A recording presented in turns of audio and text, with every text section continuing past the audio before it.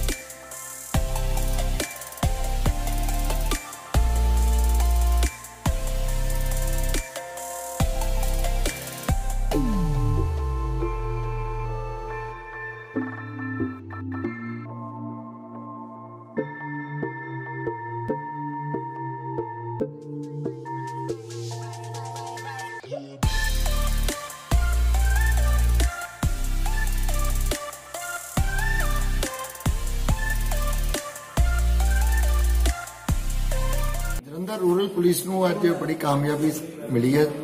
ਸਾਡੇ ਜਿਹੜਾ investigating wing ਹੈ ਐਸਪੀਡੀ ਸਾਹਿਬ ਸੀਆਈਏ 1 ਤੇ ਸੀਆਈਏ 2 ਦੇ ਇੰਸਪੈਕਟਰ ਸਾਹਿਬ ਨੇ।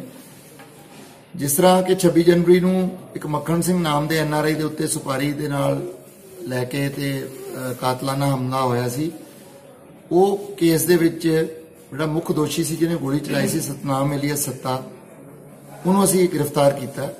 ਔਰ ਉਹਦੀ ਪੁੱਛਗਿੱਛ ਤੋਂ ਪਤਾ ਲੱਗਿਆ ਕਿ ਇਹ ਬੜਾ ਪੁਰਾਣਾ ਕ੍ਰਿਮੀਨਲ ਬੈਕਗ੍ਰਾਉਂਡ ਦਾ ਵਿਅਕਤੀ ਹੈ ਔਰ ਇਹਦੇ ਖਿਲਾਫ ਪਹਿਲਾਂ ਵੀ 33 ਮੁਕੱਦਮੇ ਦਰਜ ਹੈ ਔਰ ਇੱਕ ਬੜਾ ਨਟੋਰੀਅਸ ਗੈਂਗ ਜਿਹੜਾ ਦੁਆਬੇ ਦੇ ਵਿੱਚ ਔਰ ਈਵਨ ਲੁਧਿਆਣਾ ਤੱਕ ਜਿਹੜਾ ਬੜਾ ਵਾਰਦਾਤਾਂ ਦੇ ਵਿੱਚ ਇਨਵੋਲਡ ਸੀਗਾ ਟਿੰਦਾ ਸ਼ਾਦੀਪੁਰ ਦਾ ਔਰ ਰੂਬੀ ਤਲਵਨ ਉਸ ਗੈਂਗ ਦੇ ਪੁਰਾਣੇ ਮੈਂਬਰ ਨੇ ਔਰ 33 ਮੁਕੱਦਮੇ ਜਿਹੜੇ ਨੇ ਇਹਦੇ ਖਿਲਾਫ ਡਕੈਤੀ ਦੇ ਰੋਬਰੀ ਦੇ, ਖੋਹਾਂ ਦੇ ਈਵਨ ਐਨਡੀਪੀਐਸ ਐਕਟ ਦੇ ਦਰਜ ਹੈ। ਇਨ ਇਸ ਗਰੁੱਪ ਦੇ ਇਹਦੀ ਪੁੱਛਗਿੱਛ ਤੋਂ ਸਾਨੂੰ 6 ਵੈਪਨ ਰਿਕਵਰ ਹੋਏ ਹੈ।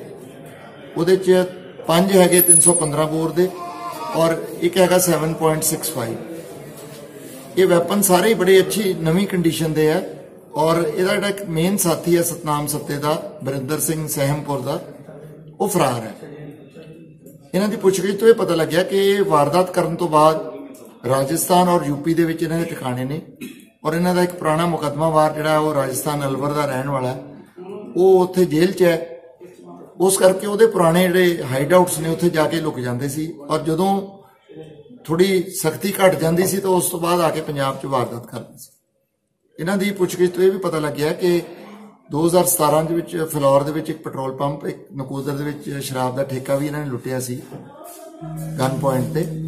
ਔਰ ਸੁਲਤਾਨਪੁਰ ਲੋਧੀ ਦੇ ਵਿੱਚ ਇੱਕ ਗੈਂਗ ਵਾਰ ਦੇ ਵਿੱਚ ਕਿਸੇ ਗੈਂਗਸਟਰ ਦੀ ਲੱਤ ਤੋੜੀ ਗਈ ਸੀ। ਉਹਦਾ ਬਦਲਾ ਲੈਣ ਵਾਸਤੇ ਇਹਨਾਂ ਨੇ ਜਾ ਕੇ ਉੱਥੇ ਗੋਲੀ ਚਲਾਈ। ਕੁਦਰਤੀ ਉਹ ਗੋਲੀ ਉਹਦੀ ਕਾਰ 'ਚ ਲੱਗੀ, ਲੜਕੇ ਦੇ ਨਹੀਂ ਲੱਗੀ। ਉਸ ਤੋਂ ਬਾਅਦ ਕਿਉਂਕਿ ਸਾਰੇ ਕ੍ਰਿਮੀਨਲ ਪ੍ਰਵਿਰਤੀ ਦੇ ਬੰਦੇ ਸੀ, ਇਹਨਾਂ ਨੇ ਆਪਸ ਬੈਠ ਕੇ ਰਾਜੀਨਾਮਾ ਕਰ ਲਿਆ ਔਰ ਅਥਾਰਟੀਆਂ ਨੂੰ ਨਹੀਂ ਦੱਸਿਆ। ਇਹਦੇ 'ਚ ਜਿਹੜਾ ਬਰਿੰਦਰ ਹੈਗਾ ਸੈਮਪੁਰ, ਉਹਦੇ ਵਾਸਤੇ ਅਸੀਂ ਸਪੈਸ਼ਲ ਪਾਰਟੀ ਹੁਣ ਫੇਰ ਭੇਜੀ ਹੈ। ਸਾਨੂੰ ਕੋਈ ਇਤਲਾਹ ਮਿਲੀ ਕਿ ਆਊਟ ਆਫ ਸਟੇਟ ਉਹ ਹੈ। ਔਰ ਜਿੰਨੇ ਵੀ ਵੈਪਨ ਇਹ ਯੂਪੀ ਤੋਂ ਲੈ ਕੇ ਆਉਂਦਾ ਸੀ, ਉਹ ਤਾਂ ਬਰਿੰਦਰ ਸਿੰਘ ਦੇ ਮਾਧਿਅਮ ਨਾਲ ਹੀ ਆਉਂਦੇ ਸੀ। ਸੋ ਅਸੀਂ ਸਾਰੀ ਉਹਦੀ ਲਿੰਕੇਜ ਜਿਹੜੀ ਆ, ਉਹ ਡਰਾ ਕਰਨਾ ਚਾਹੁੰਦੇ ਹਾਂ ਕਿ ਕੋਈ ਕਿਸ ਕੰਟੈਕਟ ਤੋਂ ਯੂਪੀ ਤੋਂ ਇਹ ਵੈਪਨ ਆਉਂਦਾ ਸੀ। ਇਹਦੇ ਨਾਲ ਜਿਹੜਾ ਇਹਨਾਂ ਦਾ ਇੱਕ ਹੋਰ ਸਾਥੀ ਹੈ ਹੁਸ਼ਿਆਰਪੁਰ ਤੋਂ ਰਵਿੰਦਰ ਏਲੀਅਸ ਰਾਣਾ, ਉਹਦੇ ਵੀ ਪੋਜੀਸ਼ਨ ਤੋਂ ਵੈਪਨ ਮਿਲੇ ਆ। ਉਹਨੂੰ ਵੀ ਅਸੀਂ ਇਹਦੇ ਵਿੱਚ ਬੁੱਕ ਕੀਤਾ ਸੋ ਸਾਡਾ ਜਿਹੜਾ ਗੁਰਾਏ ਦਾ ਆਪਣਾ ਸੁਪਾਰੀ ਕਿਲਿੰਗ ਦਾ ਜਿਹੜਾ ਮੱਖਣ ਸਿੰਘ ਨਾਮ ਦੇ ਐਨਆਰਆਈ ਦਾ ਉਹਦੀ ਸੈਕੰਡ ਵਾਈਫ ਨੇ ਸੁਪਾਰੀ ਦਿੱਤੀ ਸੀ। ਉਹ ਕੇਸ ਦੇ ਵਿੱਚ ਜਿਹੜਾ ਹਿਟਮੈਨ ਸੀ, ਉਹ ਆਪਾਂ ਅਰੈਸਟ ਕੀਤਾ। ਔਰ ਇਹਦੀ ਫਰਦਰ ਜਿਹੜੀ ਤਫਤੀਸ਼ ਕਰਕੇ ਦੂਸਰੇ ਸਾਥੀਆਂ ਨੂੰ ਵੀ ਜਲਦੀ ਅਸੀਂ ਗ੍ਰਿਫਤਾਰ